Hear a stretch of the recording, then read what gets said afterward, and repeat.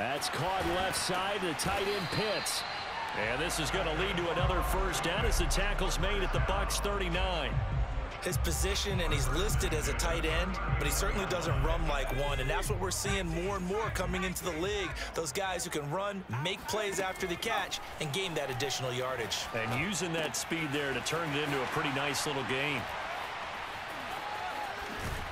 And he's going to get this inside the 30.